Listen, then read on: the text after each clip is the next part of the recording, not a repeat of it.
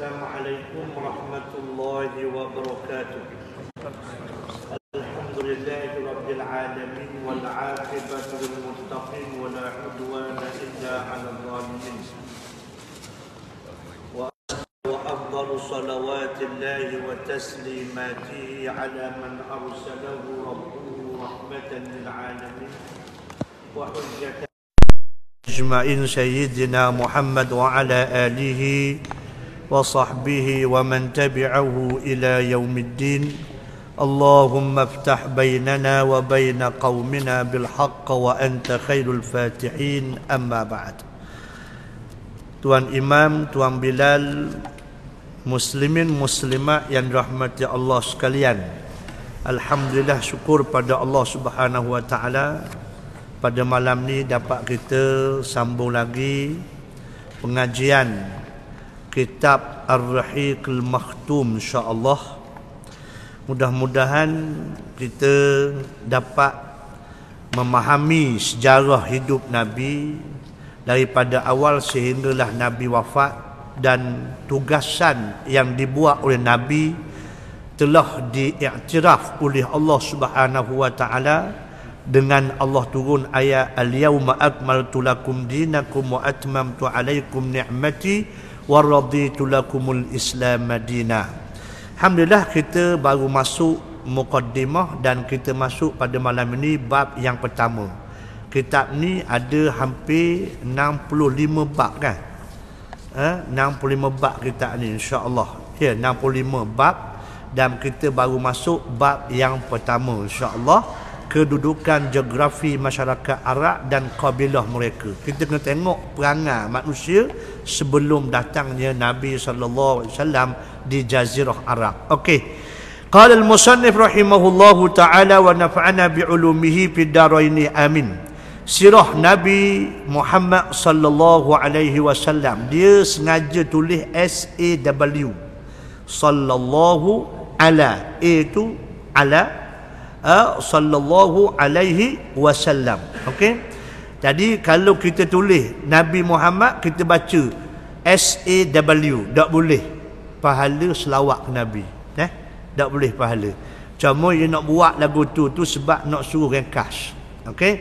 Jadi bila kau sebut nak Nabi Muhammad sebut sallallahu alaihi wasallam. Okey. Kalau kita tulis dalam mana-mana kitab Muhammad tu tertulis sallallahu alaihi wasallam.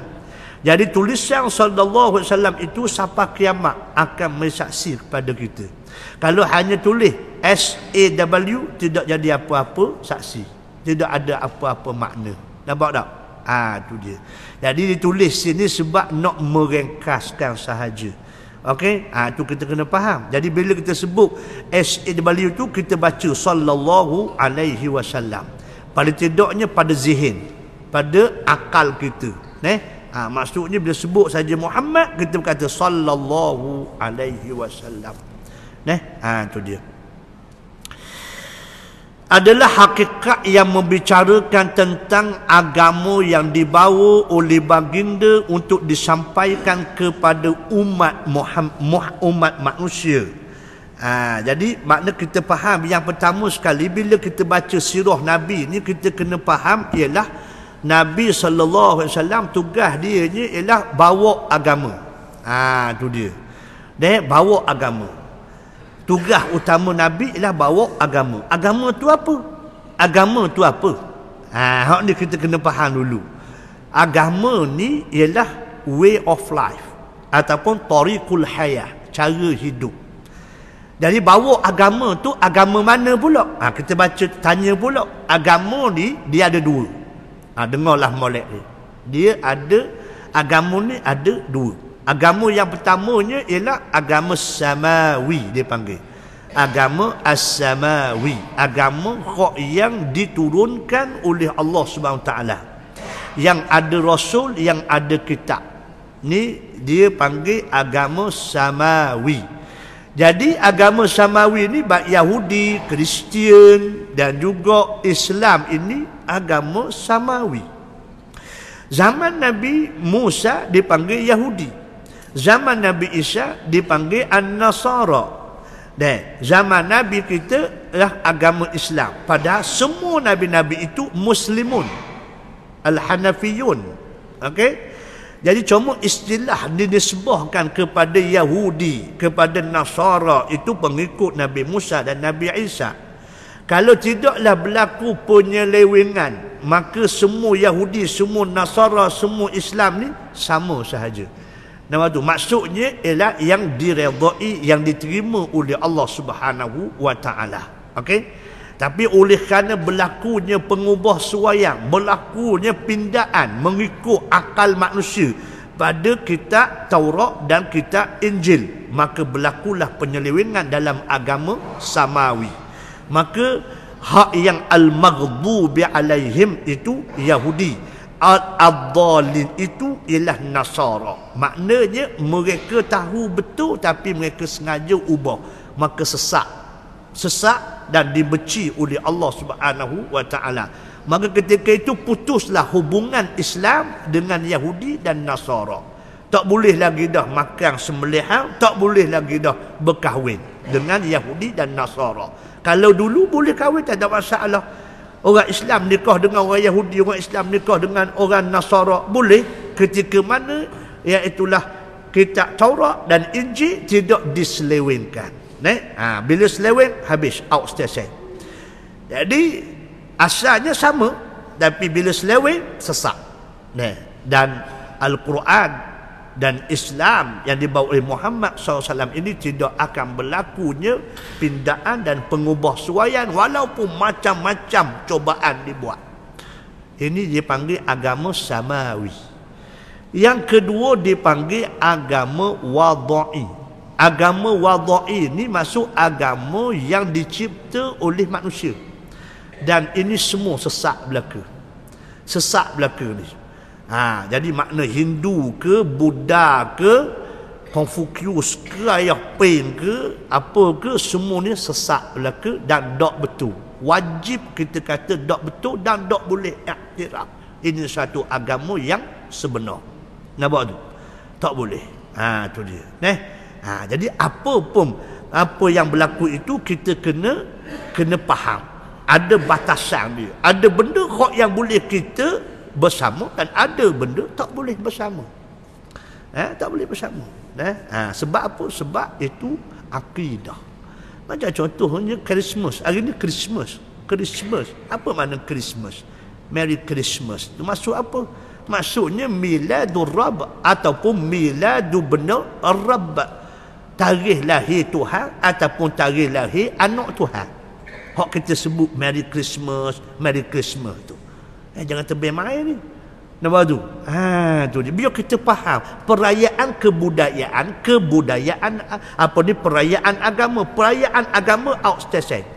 Hukum dia tetap haram. Eh, kalau perayaan kebudayaan, tak ada masalah. Contohnya macam hari Chinese New Year. Nah, ada hari kebudayaan dia semua. Ada ada hak yang perayaan agama. Ada tak boleh. Tak boleh. Eh? Ha. Jadi hak ni kena faham kita nak nampak kita tolak asuh pun mana pun kena kena faham. Takut salah kita tolak asuh sangat pak kita tolak-tolak ya? Jadi gelecoh habis. Wala iazubillah ada benda kok yang tak boleh nak kompromi. Ya? Tak boleh tetap tak boleh. Sebab tu kita belajar bab agama ni ada sawabit benda-benda kok tak boleh berubah sampai kiamat. Ada benda yang mutaghayyirat benda kok boleh berubah mengikut situasi. Ha, kena belajarlah mana sawabit mana mutaghayyirat lah Ha, jangan tukar bimbo pula hak sawabik kita faham juga. Amutara juga kita faham sawabik. Ah, tak boleh. Eh? Ha, tu dia. Baik. Menerusi agama ini baginda SAW mengeluarkan manusia daripada kegelapan ke bercahaya dan daripada penyembahan sesama makhluk kepada penyembahan kepada Allah Subhanahu wa taala. Hak ni yang paling penting kita nak belajar sejarah Nabi. Yang pertamanya kita keluar daripada kegelapan kepada cahaya agama ha, daripada ha, penyembahan kepada makhluk kepada penyembahan kepada Allah Subhanahu wa taala. Inilah jasa yang paling besar yang dibawa oleh Nabi kita sallallahu alaihi wasallam. Untuk bo makan minum, dok dok mari Nabi tak apa. Nah, kalau bo nak ajar cara makan, cara minum, cara rezeki atas dunia ni, Ha, Nabi-Nabi Rasul-Rasul tak diutus pun tak apa. Dengan sendirinya kita pandai. Bangun pagi esok, lapar. Kita cari makan. Ha? Apa untuk di, di alah perut. Itu semua orang boleh. Bukan manusia. Binatang pandai. Ha? Binatang pandai. Burung. Tak ada masalah apa. Bangun tidur, perak terbang. Nak pergi mana tak tahu. Tak tahu rezeki tu. Eh, malik-malik ada boleh makan. Ha? Kenyam metong apa ni molok. Keluar tu khimasa khimasa balik bitana. Nah. Ha, keluar daripada sarang belepeng perut balik hmm, meneting perut ibarat dia. Sebab apa? Sebab itu hak yang naluri kebinatangan yang Tuhan buat dah. Yang Tuhan buat dah. Ha tu dia. Eh Ha, jadi maknanya utusan Rasul ke dunia ni kerana nak suruh kenal mana sehak yang betul, mana sehak salah, mana sehak yang hak yang wajib sembah, mana sehak yang wajib tolak. Nah, ha, itu tujuan dia. Oleh itu tidak mungkin untuk kita menyajikan gambaran sirah yang mulia ini dengan sempurna melainkan selepas kita membincangkan latar belakang agama sosial dan aspek-aspek yang berkaitan. Dengan ini kami meletakkan satu bab mengenai kabilah-kabilah Arab dan perkembangannya sebelum kedatangan Islam serta suasana masyarakat ketika Nabi SAW diutuskan. Memang tak dapat tidak kita kena tahu fiqhul waqi'. Banyak sekarang ni pekoh tapi hak paling wajib kita kena belajar tiga untuk kita tahu lumat sungguh sesuatu perkara. Yang pertama dipanggil fiqhul waqi', masuk realiti. Yang kedua fiqhul muwazanah. Kita kena tengok benda kok yang mudarat dan benda kok lebih mudarat. Mesti kita kena pilih benda kok mudarat daripada benda kok yang lebih pada mudarat. Nampak tu? Yang ketiga dia dipanggil fiqhul aulawiyat. Sebab manusia ni kehendak dia banyak. Hak manusia yang perlu diutamakan daripada perkara yang semua menjadi kehendak kepada manusia. Mesti ada benda yang perlu didahulukan. Nampak tu? Ha. Dah piti sikit seratus ya. Dah, benda hak nak beli banyak. Okey cari lah dulu kenapa hak lebih penting yang perlu diutamakan dulu. Sebab piti seratus je. Bukan semua tu kena beli belaka. Nampak tu? Ini kena faham. Ha tu dia. Dan benda hak yang paling kita kena fahamnya ialah fiqhul waqi' dan sebab fiqhul waqi' ni berubah mengikut keadaan dan situasi. Sebab tu ada kaedah pekoh dipanggil al-adatu muhakkamatun. Adat hak suatu kaum itu pun diambil kira untuk menjatuhkan sesuatu hukum. Sebab tu apabila Nabi sampai di Madinah ni jadi hak nak sambut hari raya tu Nombor tu. Jadi ada hok yang main pedang. Joget sikit lah main pedang. Sak, sak, sak main pedang. Sayyid Datina Aisyah galik tengok. Ha, galik tengok. Sampai mereka ada satu riwayat bagaimana ada suara orang nyanyi. Saya nak Bakar dah sedap tengok. Jadi akhirnya saya nak saya nak Abu Bakar nak pergi marah. Kata Nabi, eh jangan. Jangan. Ini raya kan? Biar.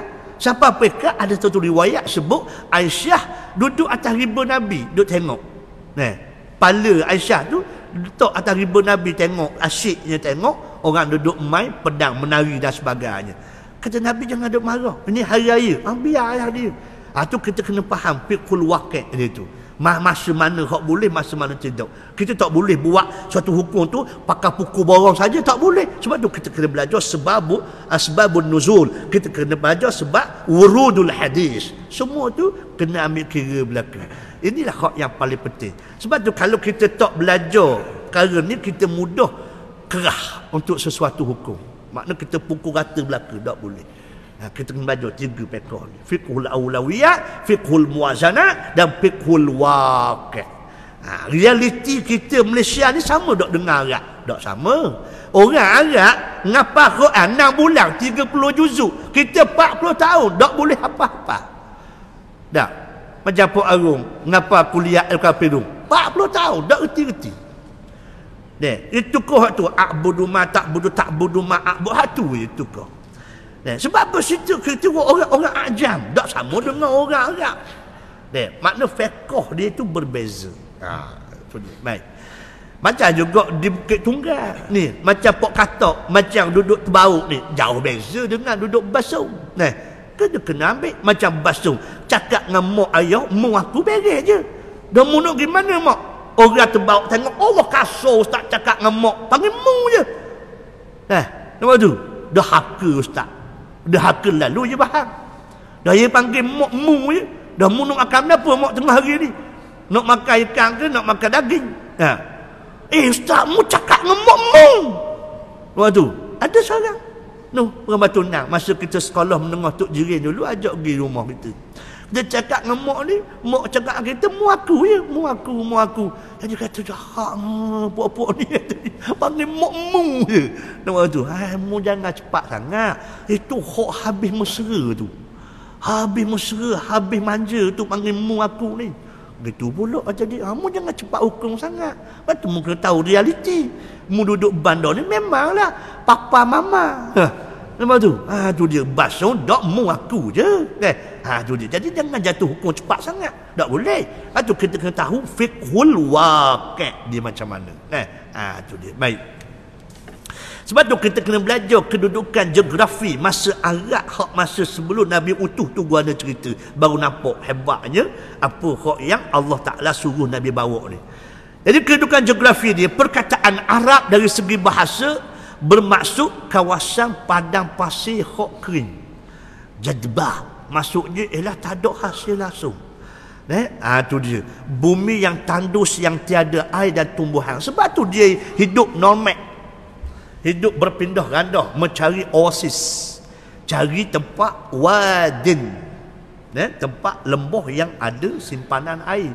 Bila air kering dia pindah pula. Cari tempat lain pula sebab tu ada satu hadis Nabi SAW ada seorang sahabat dia berjalan tiba-tiba dia nampak pelik bukannya lembah tapi di lereng bukit panggil syam syam syab uh, al-jibal maksudnya di antara di antara gunung bukit tu dia ada lurah Lurah tu dia jumpa air mata air. Ada air mata air duduk tengah-tengah daripada lembah hok bukit tu. Jadi bila dia tengok dia cek-cek air, air mata air sungguh eh. Kalau dia buat uh, petakungan tu ah. Sedap ah kata dia. Ha, dia boleh buat kehidupan situ, boleh tanam pokok, boleh tanam apa lah. Akhir sekali pun dia mikir, ayah alangkah baiknya dia bawa bini dia, bawa anak dia, Nah, bawa saya rodong dia duduk sini, akhir bercucuk tanam, lepas tu boleh buat perkampungan sini. Sebab air mata air di tengah-tengah bukit tu. Subhanallah, jarang berlaku eh. Tapi masalahnya sebelum dia buat keputusan, dia tanya Nabi, Wahai Rasulullah, saya jumpa ni air mata air tengah-tengah lereng bukit ni. Jarang berlaku ni.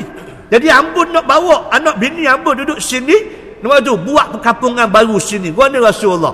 Kata Nabi, mu hak yang duduk sini sekarang ni, ni lebih baik daripada apa yang kamu hasratkan tersebut makna mu kamu sabar duduk sama dengan orang ni lebih baik daripada mu asingkan daripada orang ramai mu sabar dengan kerana orang mu sabar dengan perangai orang lebih baik daripada kamu duduk seorang Lepas tu, kamu duduk cara hal rumah tangga kamu dan keluarga kamu.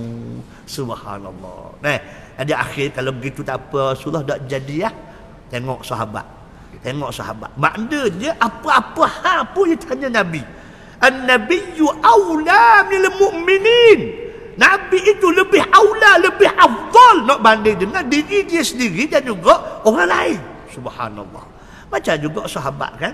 Bila sampai Madinah, Nah sahabat tengok ada dua kumpulan orang hot yang kaya. Yang pertamanya orang artis, yang kedua pelacur. Sahabat minta nak kahwin dengan pelacur kan. Sebab piti banyak.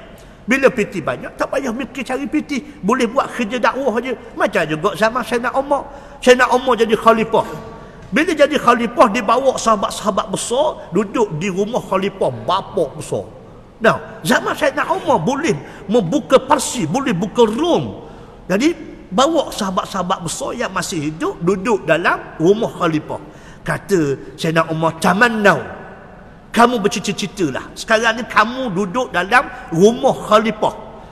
Rumah yang kemuncak segala kuasa sekarang ni. Ha, bercita-cita lah apa yang kamu nak sekarang ni. Ha, kabar kat aku, kata Sayyidina Umar. Masing-masing pun kata, tak ada apalah. Alangkah baiknya rumah khalifah yang besar ni diisi dengan penuh dengan duit dengan duit itu kita boleh guna untuk buat kerja-kerja dakwah nampak pala tak sahabat pala tak sahabat nak kerja buat dakwah je Lepas tu, tak mui ada sakok kerja dakwah ni. Subhanallah. Macam sebab sahabat dulu, sahabat Madinah, minta nak nikah dengan orang-orang yang pelacur, hak yang jual tubuh ni. Sebab orang pelacur, hak pelacur ni piti banyak. Jadi boleh ambil duit. Duit pelacur tu untuk buat kerja dakwah. Dah payah mikir hak, hak kerja dah. Kitanya hak jadi payah nak pergi sejid nak dengar sebab cari bitis. Nyokor nyebak, nyokor nyebak cari bitis. Oh minta maaf tak tak, tak nak belajar. Bab apa? Cari piti. Anak ramai. Nampak tu? Ha tu dia. Tuan-tuan minta maaf dah. Allah Rabbi ada orang seumpama itu Tuhan uji dia. Nama tu siapa pekak tak cukup siang malam kerja lagi sebab anak ramai. Tak apa kita faham keadaan dia. Nampak tak? Daripada muda sampai ketua terpaksa dia membanting tulang. Nampak tak? Kita alhamdulillah Tuhan dah uji kot tu. Makna kerja sikit, alhamdulillah boleh rezeki bolehlah makan le nak banyak tak boleh juga. Tapi bolehlah nak hidup ada masalah. Boleh mari sejid boleh mari dengar. Allah syukur pada Allah Taala. Ada orang eh, anak ramai terpaksa kerja siang malam. Nah ha, tu dia. Tu Tuhan uji dia. Nah ha, tu dia. Jadi walaupun begitu dia alhamdulillah dikira sebagai jihad juga. Tapi comanya rugi tak boleh dengar dan sebagainya. Tu je lah jadi sahabat-sahabat yang kita bila Allah turun ayat az-zani la yankihu illa zanatan aw musyrikah والزانية لا تنكحها إلا زانية زان أو مشرك وحرم ذلك على المؤمنين Tuhan pun dah keluar keputusan وحرم ذلك على المؤمنين haram kepada orang yang beriman maka sahabat hok tak ada pitih tu kata biarlah Rasulullah eh dak nikah pun dak nikah ha? asalkan ikut hok apa Tuhan nak masya-Allah nampak tak Ha, maknanya walaupun perintah tak ada, tak ada pergi ya. Asalkan dok lawan Nabi, dok lawan Allah SWT. Dan dok nikah dengan pelacur. Macam juga sahabat. Apabila dah dapat buka Mekah, Allah utuskan Sayyiduna Sayyidina Abu Bakar dan Sayyidina Ali pergi ke Mekah tahun 9 Hijrah. Tahun 9 Hijrah sebelum Nabi pergi buat haji wada'. Nabi kabur kepada Abu Bakar dan Ali mukabur orang-orang kafir hak masih duduk di Mekah tu tahun ni tahun akhir. Tahun depan tak boleh duduk dah. Kalau sekiranya masih lagi tidak masuk Islam. Sahabat-sahabat hak duduk Mekah, siapa dia? Abu Sufyan. Abu Sufyan ni masuk Islam masa buka Mekah tahun 7 Hijrah. 7, 8, 9. 3 tahun dia jadi pemimpin Mekah. Nabi balik semula ke Madinah kan? Nah, bila nak Abu Bakar kata lepas tahun ni masuk dia tahun depan tahun 10 Hijrah tak ada seorang dah hak yang kafir duduk di Mekah ni. Ha, kalau dia tetap kafir lagi dia kena keluar daripada Mekah ni. Kalau dia nak nega kena apa ke dia kena masuk Islam. Kata nak Abu Bakar. Orang kau tak puas hati siapa dia? Orang Islam. Abu Sufyan mari jumpa Abu Bakar. Eh, mu ni bawa kenapa eh? Mu tak tahu ke orang kau nega tepi Mekah ni semua kafir belaka eh? Dia yang bawa kemajuan di Mekah ni. Ha? Setiap tahun orang luar mari bersebut maju Mekah ekonomi jalan molek bersebut ni kerana orang kafir. Orang kafir hok negara hok tepi tepi masjid ni. Dan adakah kita nak halau dia? Dah halau dia, mundur ekonomi kita. Kata sana Abu Bakar bukan salah aku. Aku hanya bawa nyapa daripada Rasulullah. Kalau mau tak puas hati boleh naik utang pergi jumpa Rasulullah minta upah semula berkeliling daripada Rasulullah ni. Betul ke tak Rasulullah suruh? Dah Rasulullah suruh. Takkah aku mari saja? Nah, kalau gitu gak biar. Biar. Ha? Dok maju pun dok maju ha? Asal ikut hak Nabi sudah ha? Nampak tu? Lepas tu buat announcement. Orang kapi tak boleh duduk dah Mekah. Ha? Untuk tahun depan. Tahun 10 Hijrah. Tahun musim haji. Tak boleh duduk dah. Nampak tak? Maknanya ada tempoh setahun lagi. Nak mikir. Ha, nak mikir setahun lagi tu. Ha, tu dia. Akhirnya apabila sahabat yakin dengan janji apa yang disebut oleh Nabi wasallam, maka akhirnya orang kafir itu mikir akhirnya pakat masuk Islam lagi. Subhanallah. Nampak keyakinan sahabat, keyakinan sahabat menyebabkan orang lain boleh hidayah daripada Allah Subhanahu wa taala. Itu sebab tu kita kena belajar di sudut macam mana kondisi fenomena masa itu. Baik, baik. Ha, perkataan ini digunakan semenjak dahulu lagi untuk kawasan di semenanjung tanah Arab. Namun itu juga diberikan kepada masyarakat yang mendiami dan menetap di kawasan tersebut. Dah memang hak yang Nabi sebut oh. Wa antal hufatal uratal alata ri'a asya' yatatawaluna fil bunyan. Hadis ni sebenar cerita pasal Arab. Bukan cerita orang-orang Ajam, bukan cerita orang Malaysia, dah. Cerita orang Arab. Tanda nak kiamat hampir yang kamu tengok orang kok yang dulu berkaki ayam kok tak ada pakai baju apa. Lepas tu duduk bela kambing duduk bela unta tapi sekarang dia pakai badi untuk buat bangunan yang tinggi-tinggi. Sekarang negara Arab duk badi tinggi bangunan je. Nampak ha perak Dubai buat 800 hok ni puak buat.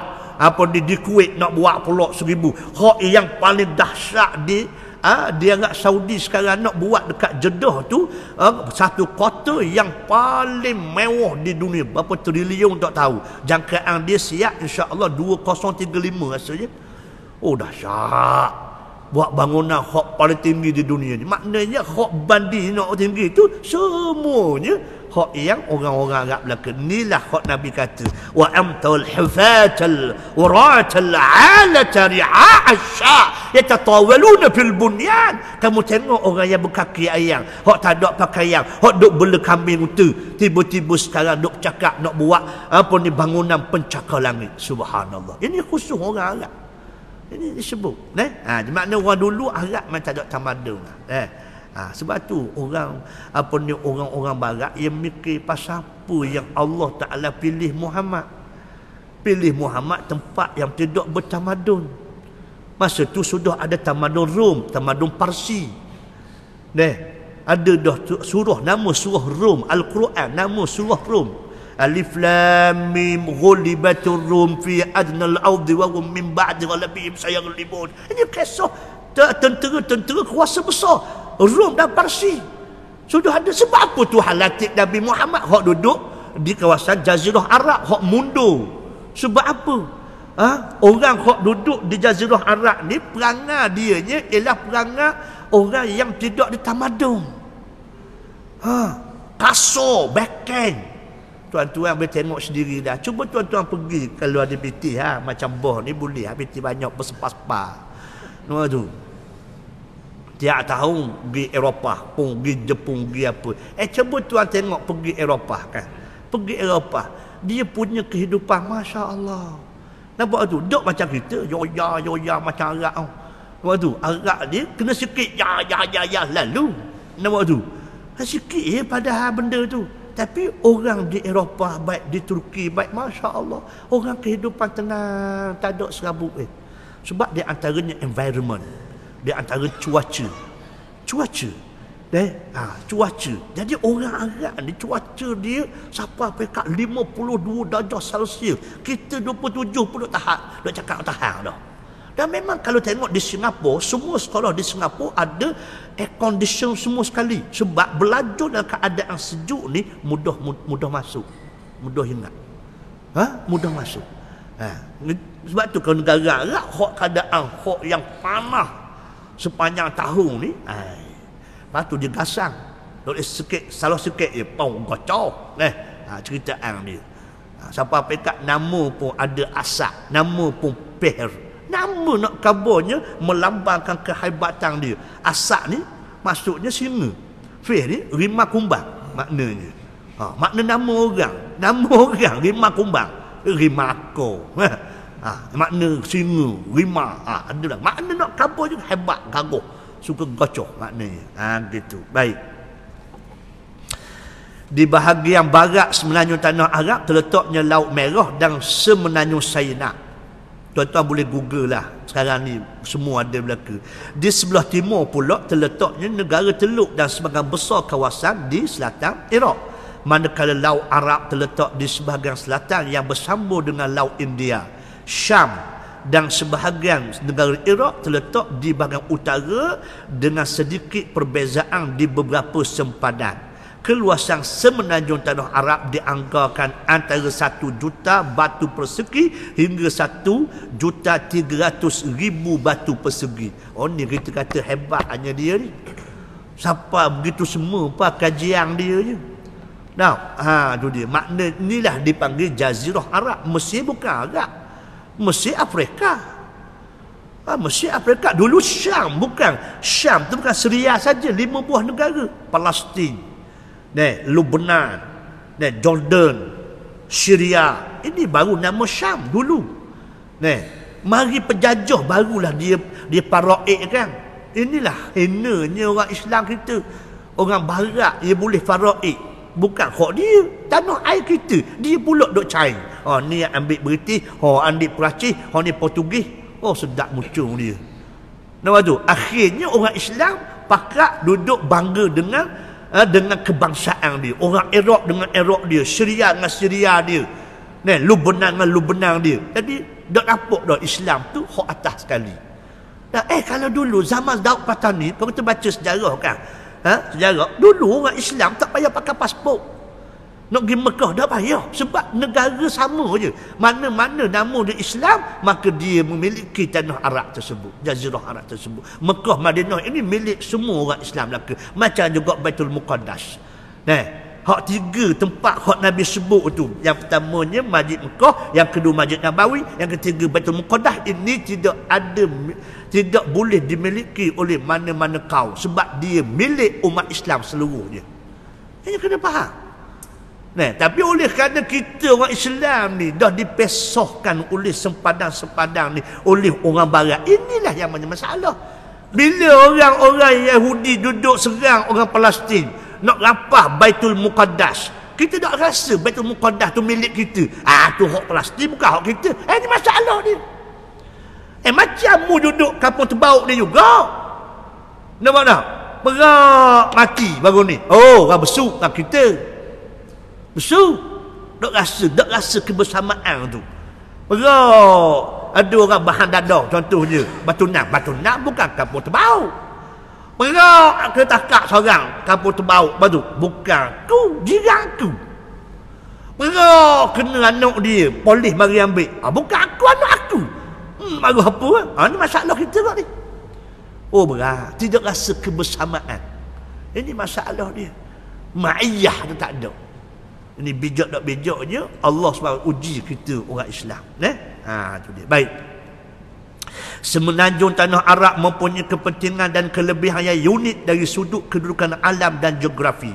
Dari segi lokasi dalaman, semenanjung tanah Arab dikelilingi oleh padang pasir dari setiap arah. Oleh itu keadaan ini menjadikan semenanjung tanah Arab sebagai kubu penghalang yang tidak memberikan peluang kepada masyarakat luar untuk menawannya dan menjajahnya dengan kekuasaan yang mereka miliki. Hasilnya kita mendapati penduduk tanah Arab ini bebas daripada segala pencaturan kuasa luar semenjak dahulu walaupun mereka duduk bersebelahan dengan dua empayar yang besar.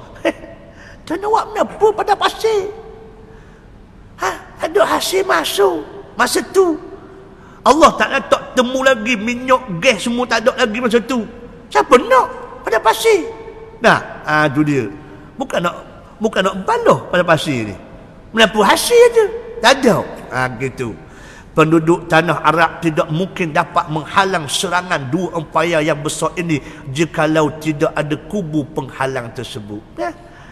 Ya, ha, tu dia. Baik, manakala dari segi lokasi di bahagian luar, sebenarnya tanah Arab terletak di antara benua-benua yang terkenal di dunia yang bersambung dengannya di bahagian laut maupun darat.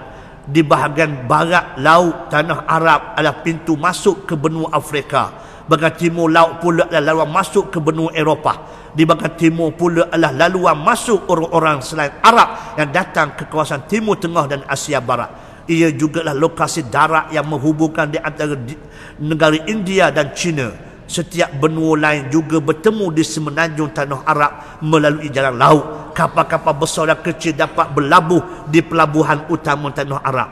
Keadaan geografi ini menjadikan semenanjung tanah Arab sebagai tumpuan tempat tumbuhan masyarakat luar sama ada di bahagian utara dan baratnya dan juga menjadi pusat perniagaan kebudayaan, keagamaan dan kesenian. Ha, kita baca gini juga kita pun faham, kita pun mula memikir, oh hebat. Sebenarnya benda ni semua Tuhan dah susun belaka dah benarnya. hak yang Allah suruh Nabi Adam hak Tuhan suruh malaikat kemudian disambung oleh Nabi Ibrahim supaya buat Kaabah tu sebenarnya Kaabah ni dia pusat keseimbangan dunia ni bumi ni ni semua ni sebenarnya sengaja dinafikan oleh orang barat NASA tahu sebenarnya. Cuba tengok molek masa kita. Sekarang ni kita pukul berapa? Pukul 8 pukul 8 di Mekah pukul berapa tolak lima jam. Nampak? Ah Lepas tu? Di, di apa di, di benua Australia, no di Amerika. Cuba tengok molek. Dia punya apa di kawasan. Hok yang jajaran siang dan malam tu. Neh, pada kalau kita tengok kaji dah, kalau kalau mudah su hok ni siang hok ni malam sudah ataupun bagi dua je. Ni siang ni malam. Tapi dok, tengok molek dia lengkungan tu, garisan tu. Oh kalau orang belajar geografi tahulah. Longitude longitude dia tu. Garisan khatulistiwa, garisan tropika. Kita duduk garisan khatulistiwa. Lembak sepanjang tahun. Orang hok musim tropika lain pula. Orang hok duduk pak musim lain pula. Semua dia bergantung kepada garisan hok ia buat tu. Padahal sebenarnya pusat graviti dunia ni hok yang boleh seimbang ni lah Mekah. Mekah. Deh. Ha, itu dia. Dan sebenarnya hak Kaabah di Mekah ini bersambung terus di alam malakut. Ada setengah ulama mengatakan Baitul Ma'mur. Baitul Ma'mur itu se uh, setentang dengan Kaabah di Mekah ni sebenarnya. Itu pusat graviti yang mengimbangkan di antara bumi kita ni. Eh, ha, tu dia. Jadi maknanya Allah dah tentukan dah. Tuhan dah buat belaka dah. Cuma sebab apa orang-orang yang mengkaji dari sudut kedudukan negara dia sebab apa dia nak menafikan kehebatan ha, batu asas yang Allah Ta'ala buat ni. Sebab apa tak memburi orang masuk Islam tu je. Macam juga dia tengok dia melancarkan serangan Islam phobia. Orang Islam ni teroris, teroris, teroris peganah, peganah, peganah belaka. Siapa? Orang Islam sendiri pun. Ada sebahagian yang terjebak dengan mengatakan orang pakai jubah, pakai serba, pakai apa ni. Oh, teroris. Pakai gini ni. Peganah, peganah, peganah belaka. Orang Islam sendiri kata orang Islam peganah. Takdir Allah SWT. Cup baru nikah. Eh, Cup ni sebenarnya banyak hidden story dia. Banyak benda yang tersembunyi sebenarnya World Cup yang duduk di bawah FIFA. FIFA dia, dia nak taja yang pertama Arab, yang keduanya adalah LGBT. Sebenarnya kalau sebab apa hak Jerman pasukan Jerman baru ni kan? Mu tengok dak baru. World Cup baru ni. Oh, hak. World Cup baru ni tu sejarah dunia tau. Tidak pernah dianjurkan oleh negara umat Islam. Tak pernah. Sepatut baru ni 2022 tu dianjur oleh Amerika tapi macam mana boleh di kota? Kota melobi banyak mana? Spend dia punya duit hampir 220 bilion. Nak jadi tuan rumah. Tapi dia ada benda di sebalik tu. Berlaku pertembungan yang sangat hebat. Macam mana hak FIFA tu, hak diketua, hak yang dicengkam oleh Yahudi, oleh orang Nasaranya, macam mana nak synchronize dengan hak yang negara umat Islam ni? Mana menang? Sama ada hak kafir ataupun Islam? Nombor tu mana-mana perlawanan bola bila menang ia sembuh arah ia sembuh arah ini kaedah dia dah. Memang ada disebut dalam ha, kondisi terma syarat-syarat untuk menganjur FIFA ni. Untuk World Cup ni tapi macam mana hebatnya kota boleh pindah syarat tersebut subhanallah hak yang boleh boleh mengharamkan lambang-lambang LGBT untuk diangkat dan juga diwawakan, dipublishkan di kata baru ni. Subhanallah. Itu kejayaan yang besar. Sebab tu Jerman tak puas hati. Tak puas hati. Puak-puak LGBT baru ni nak lantik David Beckham sebagai ikon dia. Nak naikkan gambar David Beckham tu sebagai simbol lambang LGBT dia.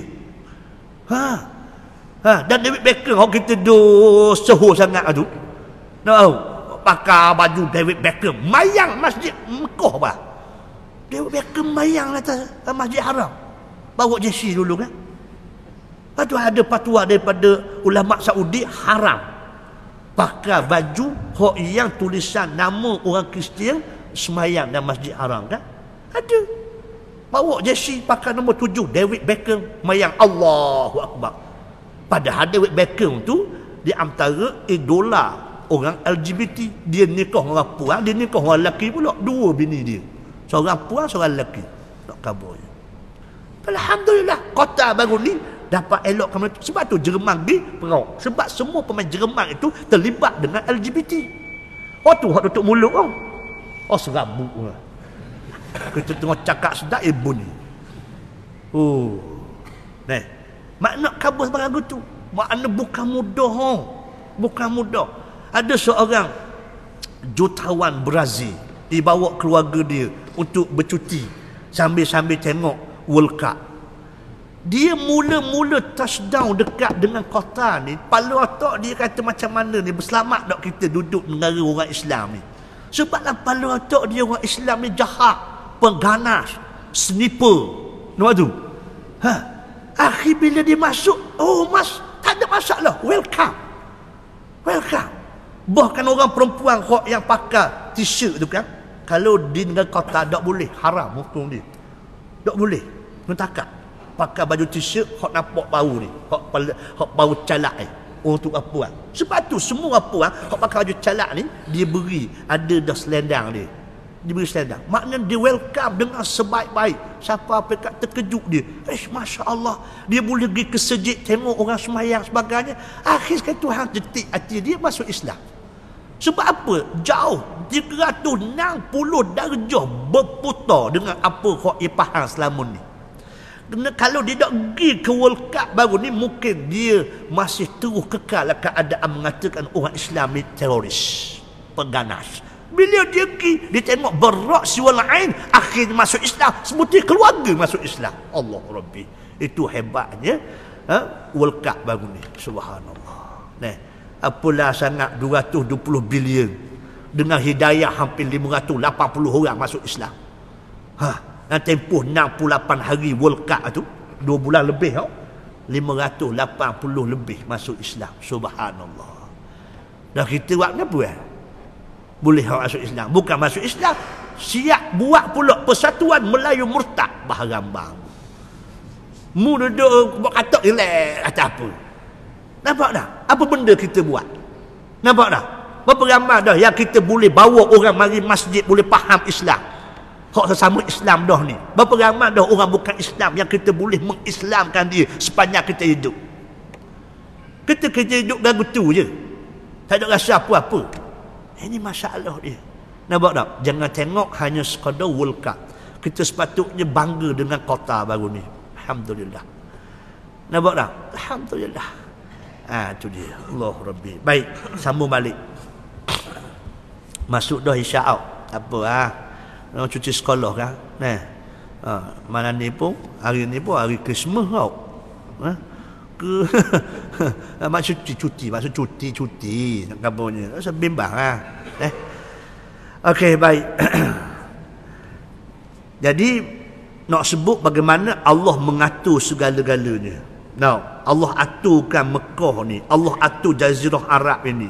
Sebenarnya cuba tengok molek, kat mana ada tapak kaki Rasul hak diutuh oleh Allah, ada khazanah yang begitu hebat.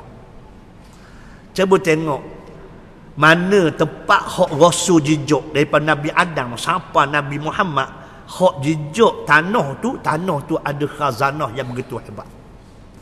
Sesu Tuhan muncul. Nampak tu? Ha, sebab tu orang-orang Kristian, orang-orang barat bersebut pening kepala dia memikir. Now, ha, macam mana jazirah Arab boleh sekaya ni ibarat dia ni. Dia mari memikir. Now, tapi hidayah tak tak tak masuk ini masalah dia. Akhir sekalinya dia menjadikan negara-negara Arab sebagai kuda tunggangan dia dengan macam-macam polisi, macam-macam uh, syarat uh, yang di bawah PBB. Akhir sekali je negara umat Islam jadi uh, apa di wayang kulit saja. Allah Rabbi. Ini politik antara bangsa lah kalau kita kita nak cakap Allah Rabbi. Baik, kabilah-kabilah Arab. Para ahli sejarah membahagikan kabilah Arab kepada tiga jenis berdasar tiga keturunan utama. Ha. Oh hebat kita ni eh. Yang pertama, ha, dia panggil Arab ha? Ba'idah Ah, tu dia. Masuk Arab Ba'idah ni masuknya Hok jauh sekali. Ah, tu dia. Eh? Mereka masyarakat Arab Yang hok yang lampau Hok asal macam kita kat zaman Paleolitik Mesolitik Neolitik. Oh, Zaman logam oh. oh, ni zaman hok dulu oh. Yang tak dapat diketahui tentang keadaan dan sejarah mereka dengan terperinci. Kecuali apa yang disebut oleh Allah dalam Quran tentang sejarah nabi-nabi dulu hak yang mana nabi-nabi ini dia ada pertalian keturunan. Nah contohnya daripada Nabi Ibrahim ha, ada Ishak ada Ismail. Daripada Ishak ni lahir semua nabi-nabi sampai Nabi Isa. Maka dia ada keturunan dia tu. Begitu juga Nabi Ismail. Sampailah kepada Adnan lepas Isma, lepas Ismail Adnan Pak Adnan sampai kepada Abdul Muttalib kepada Abdullah kepada Nabi kita 25 generasi jadi semua tu ada kaitan dia jadi hak daripada sebelum tu tu jadi kita terima apa hak Tuhan kabur je tak ada orang hak yang boleh beritahu secara tepat ha. jadi kita faham masyarakat A, Samu ha, Tasam, Jadis, Imlaq atau mamalik dan sebagainya itu kita tahu daripada apa yang disebut oleh Allah Subhanahu wa taala. Yang keduanya Arab Arabia, Aribah. Arab Aribah mereka ialah masyarakat Arab yang datang daripada keturunan uh, Yasjuk Ya bin Yaqub bin Qahtan. Mereka juga dikenali sebagai orang Arab Qahtani. Qahtan. Eh? Ini bangsa yang kedua. Arab yang keseterusnya musta'ribah. Musta'ribah ni campuran lah. Ha, daripada Arab yang datang daripada keturunan Ismail yang datang daripada Arab Adnan bin Ismail. Ah, ha, tu tiga keturunan. Macam kita kok orang Melayu eh. Orang Melayu ni daripada mana asal dia ah? Ha, cuba tengok molek asal usul kita. Nah, oh macam-macam ha pula ni. Apa ni Melayu ni? ada daripada kata daripada Aceh ada kata daripada Bugis macam-macam hal kita ni sebab kita satu kepulauan dulu tu daripada Patani sampai ke Aceh sampai kepada uh, Palembang sampai kepada Sumatera ni kepulauan Melayu ni. Sebab tu bahasa Melayu dipanggil Ligura Franca dulu. Khususnya semasa kerajaan Melaka dulu. Hak yang menjadi satu kuasa yang hebat yang mempunyai hubungan dengan Osmaniyah ada tiga dulu Osmaniyah Melaka Aceh. Ni tiga hak yang mewakili kepulauan Melayu ni. Ha tu dia.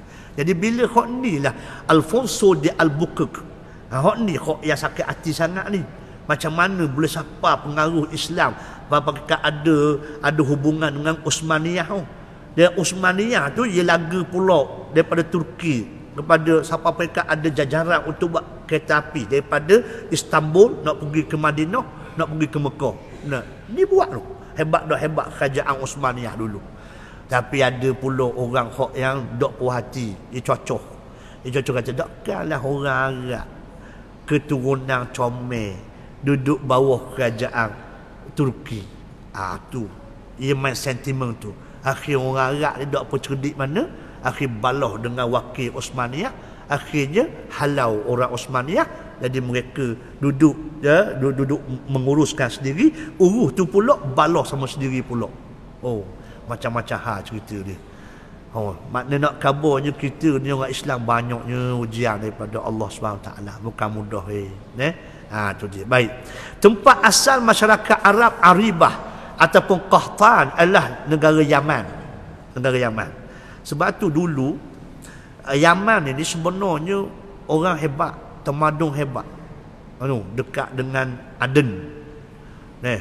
Oh, dekat dengan hok yang pelabuhan-pelabuhan selatan dekat dengan apa ni Yaman ni sebenarnya tempat persinggahan daripada Asia. Hok bawa rempah ratus. Daripada Yaman ni bawa kepada uh, Mekah tu. Orang-orang orang-orang daripada utara nak cari nak cari barang rempah semua ni hok dibawa daripada selatan Yaman ni bertemunya di Mekah. Hak tu hak yang berlaku je kepesatan ekonomi tu.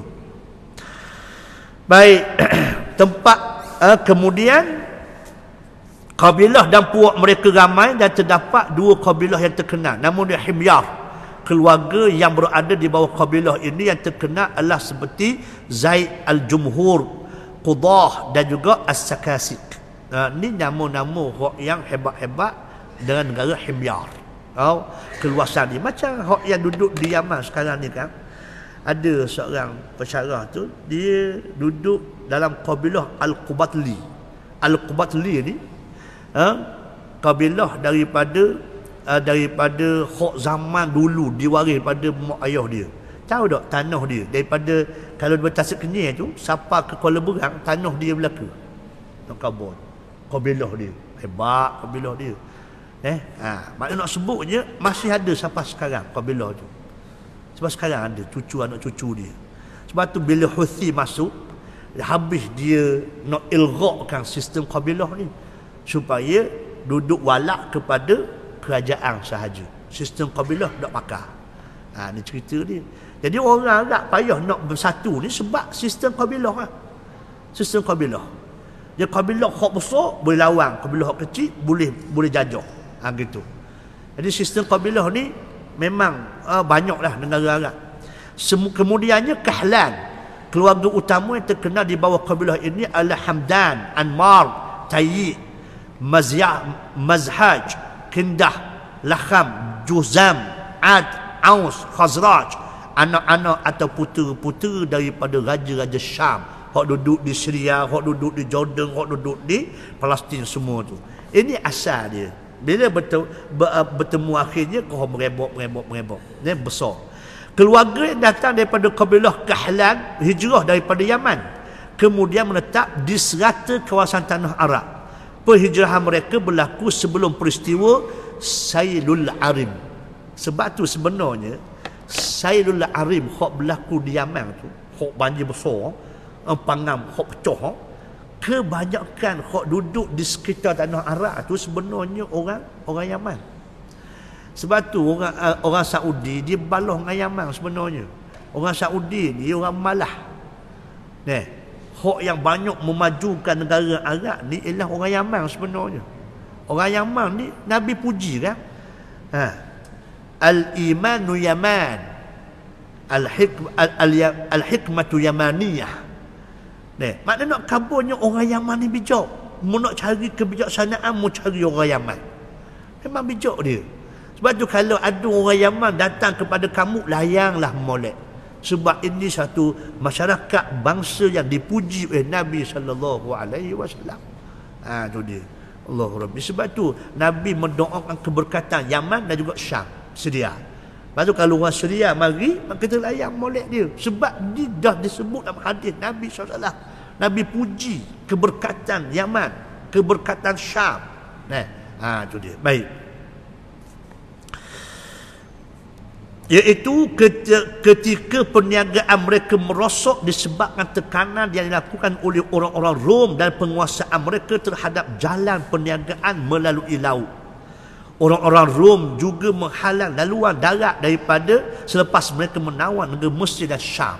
Dia dia Mesir itu pula ada terusan Suez. Suez. Nah, sebab tu Mesir ni dia antara hak yang paling dikehendaki oleh orang Eropah sebenarnya. Sebab tu dan teori kata kalau orang Islam ni tak perlu banyak hampir dekat dengan 69 70 negara umat Islam kan tapi kalau bersatu sungguh lima buah negara je dunia ni akan dipandu oleh orang Islam lima negara je Nama tu. Yang pertamanya ialah Arab Saudi. Yang keduanya ialah Mesir. Yang ketiga Pakistan. Yang keempat Turki, yang kelima Indonesia. Lima negara umat Islam ni kalau bersatu sungguh dunia ni milik orang Islam. Arab Saudi ada kekayaan. Harta yang paling besar, yang paling kaya di dunia ni Saudi. Yang kedua Turki sebab dia mempunyai aset ketenteraan yang begitu hebat. Mesir Mesir ni orang dia gagah. Orang dia lasok. Sebab tu Israel takut Mesir sebenarnya. Yang keduanya lokaliti dia. Iaitulah shortcut daripada Eropah untuk ke negara Arab dan seterusnya Asia melalui jalan laut. Tu Suez tu. Kodok dia kena likung jauh. Benua Afrika tu. Jadi Mesir dah membuktikan Satu-satunya tentera yang boleh menghalang dan mengalahkan tentera Israel. Sirtah Oktober tahun 69. Ni tahun, tahun 69, Sirtah Oktober. Setiap tahun, Sirtah Oktober. 6 Oktober diraihkan di Mesir dengan perayaan yang begitu besar. Macam kita tegak hari kemerdekaan lah. Di antaranya nak kabur kemenangan tentera Mesir menghalang tentera Israel. Itu pun kerana mimpi daripada ulama Azhar.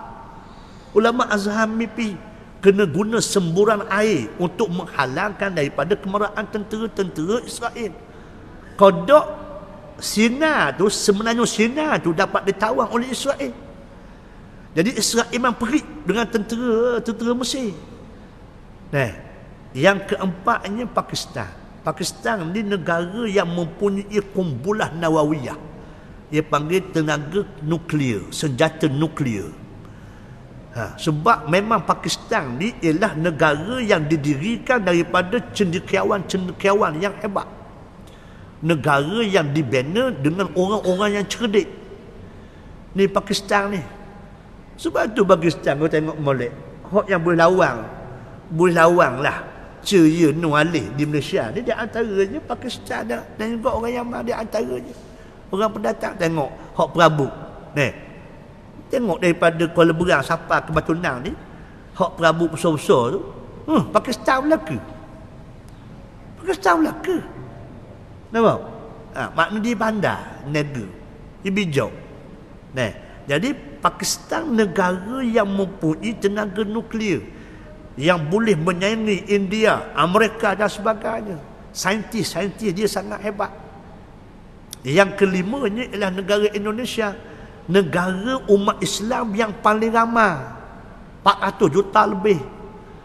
Eh, sebab tu banyak serangan dihala kepada Indonesia supaya ini berlakunya talawus fil afkar berlaku pencemaran cara fikir. Akhirnya ekspor masuk syiah. Sampai sekarang Indonesia sudah memberi lesen kepada syiah untuk buat TV sendiri. Oh berat Ha, dia masuk cara halus. Jadi ulama-ulama duduk kata makna lima buah negara dia cukup dah untuk negara dunia ni dipandu, diurus oleh orang Islam.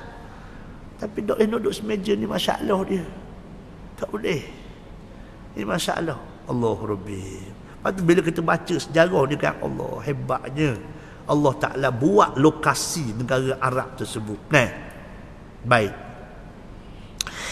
Persaingan antara kabilah Kahlan dan Himyar menyebabkan kabilah Kahlan terpaksa berhijrah. Maka kekalah kabilah Himyar di tempat asal mereka dan kabilah Kahlan pula meninggalkan tempat asal mereka. Pembahagian kabilah Kahlan yang berhijrah boleh dibahagikan kepada empat bahagian. Yang pertama Azd. Perhijrahan mereka dicadangkan oleh pandangan pemimpin mereka iaitu Imran bin Amr Muzayyqiyah mereka mula bergerak di sekitar Yaman dan menyediakan penunjuk jalan dan kemudian berjalan menuju ke arah utara. Ia adalah tempat-tempat yang mereka tinggal dan boleh dinyatakan secara terperinci selepas pencerahan berlaku. Sa'labah bin Amr daripada kabilah Azd menuju ke Hijaz. Hijaz ni Mekah lah maknanya. Nah, dan menetap di antara uh, Sa'labiyah dan Zuqar. Ini tempat. Semasa anaknya sudah besar, dia menuju ke Madinah dan menetap di sana. Antara anaknya adalah Aus dan Khazraj. Dua orang uh, dua orang anak daripada Harithah bin Sa'labah. Ha hak membentuk uh, kaum Aus dan Khazraj. Dan akhirnya berlaku pertembungan. Dia anak beranak anak beranak anak beranak.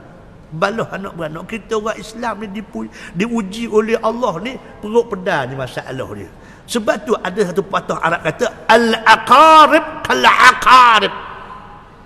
Al-aqarib masuk kaum kerabat. Kala akarib seperti kala jengking eh, makna je adik-beradik ni macam kala jengking tunggu masa je nak patut kau maknanya.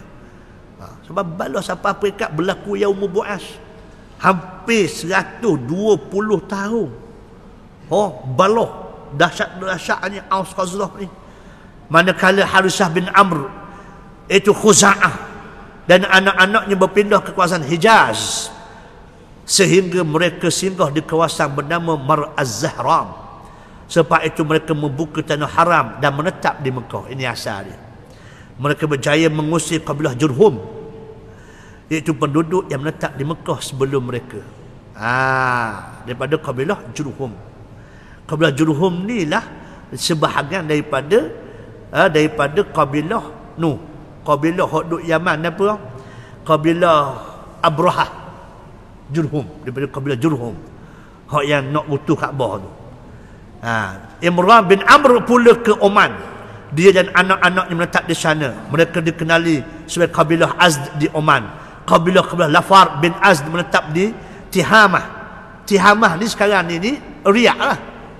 Duduk di Riyak Nabi sebut bagaimana ada satu hadis ada orang hok yang bawa amalan dia ya pahala dia di hari kiamat esok masya-Allah amalu kajiham tiham kajibal tihamah amalan dia macam bukit tihamah Bukit Tihamah ni dekat dengan Riak tu dia ada satu banjaran. Macam kita kat Banjar Titiwangsa apa? Daripada Perak sampai kepada Kelantan tu kan dia ada Banjar Titiwangsa. Maknanya bukit yang begitu besar dan juga panjang. Jadi ada orang bawa amalan dia kebaikan dia seperti Jibal Tihamah. Macam Bukit Tihamah, Banjaran Tihamah dekat di atas Riak tu.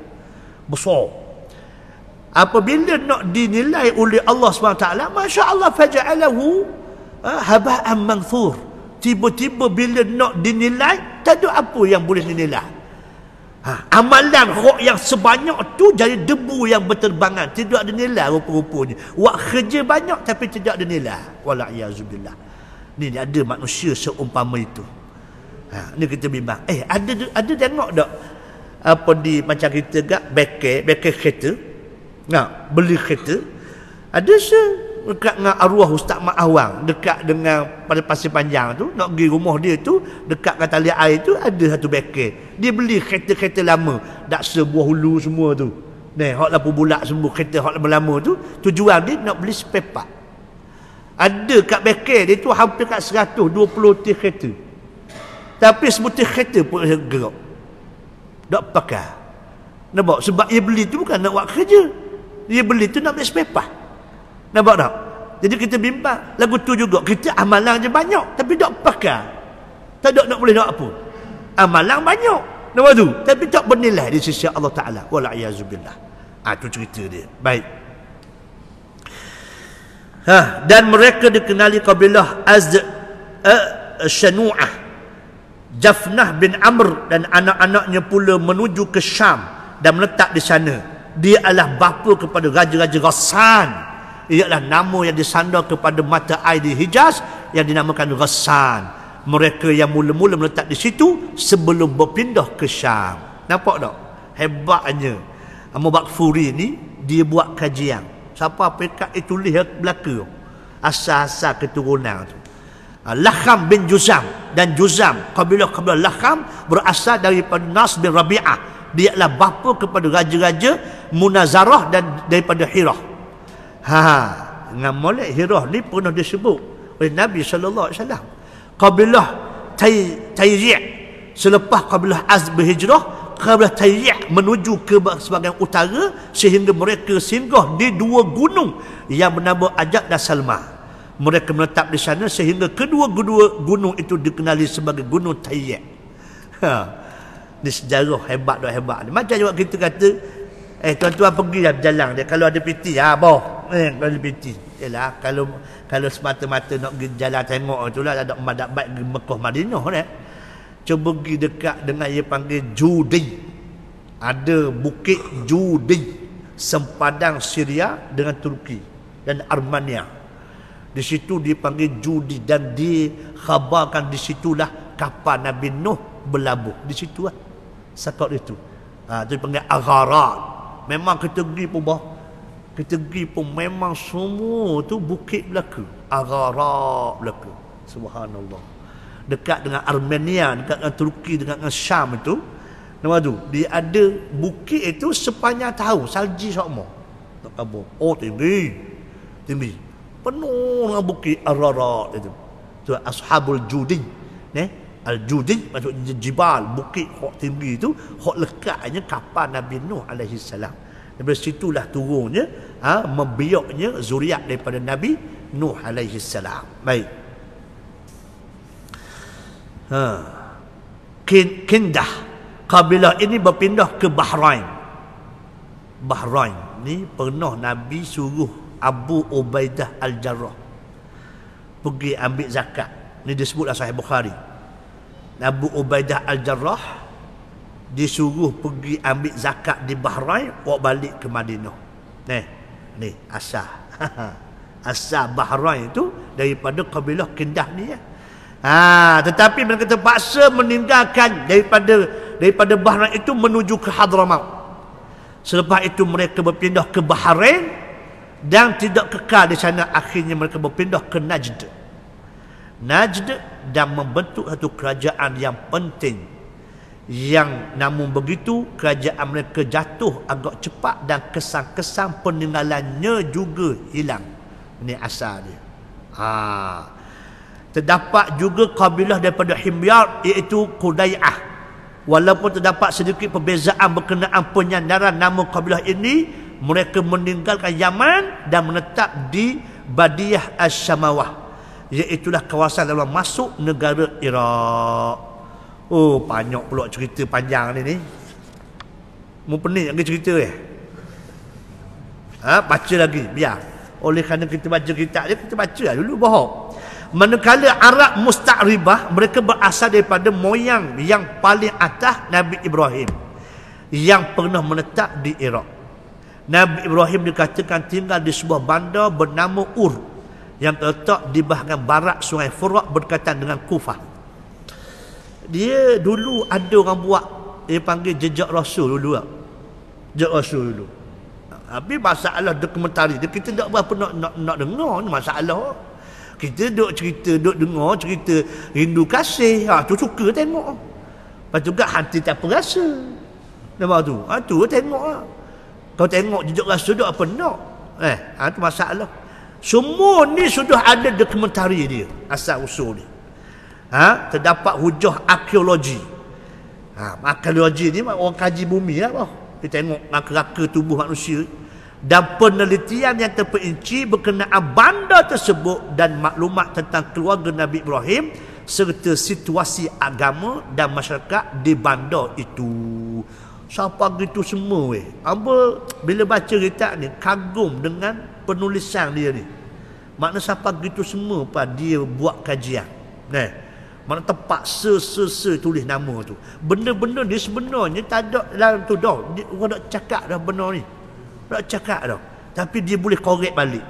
Ha, macam tadi ya.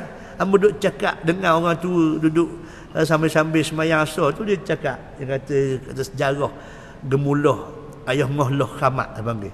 Kenal tak? Kenal tak? Ayah loh khamat. Hak duduk di Pulau Musang. Tak kenal? Tak kenal pokok dia. Pok Arung kenal? Tak kenal. Dah mau kenal siapa lah? Tak kenal belaka. Ayah Ngoh Loh Khamat ni memang orang-orang terkenal lah. Ha, dia suka singgah macam macam Tuk Guru Abdul Rahman Limu juga.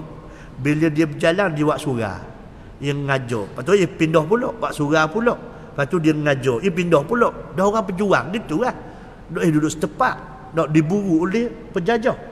Nampak tu? Jadi dia antara hak yang bawa ni ni, ajaran ni lah. Ayah Khamat hak duduk Pulau Musang tau.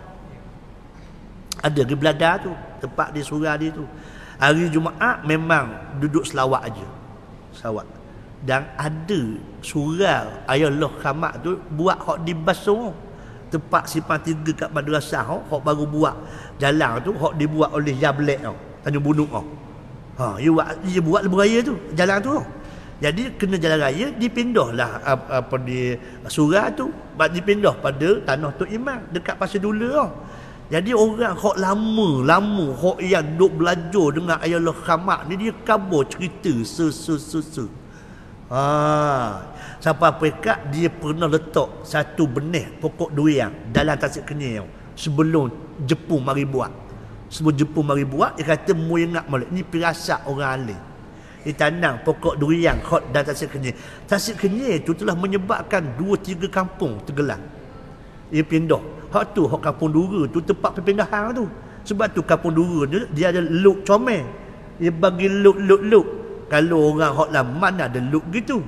Sebab perpindahan daripada kok dalam tasik kenyir hasil dia buat dam tu. Dia pindah luar ni. Ha tu dia. Jadi dia pernah khabar. Dia kata ni pokok durian mu tanam ni mu ingat molek. Siapa tu masa tepat ambu tanam pokok durian ni dalam tasik kenyir tu dia kata muka tengok tempat ni akan jadi laut kata dia. Maksudnya ulu ni akan jadi laut. Masuk kata dia akan maju. Itu maksud dia. Dan betul sungguh apa yang dia sebut. Dok tersahur pada akal. Tahun 70 dulu ya kabur. Lepas kat 30 tahun, 40 tahun. Jadi sungguh apa yang kabur. Ini pirasat orang yang ada ilmu dan amalan. Nampak tak? Ha, tu cakap dengan anak murid ayah Allah Khamak tadi tu dia cakap bombang-bombang.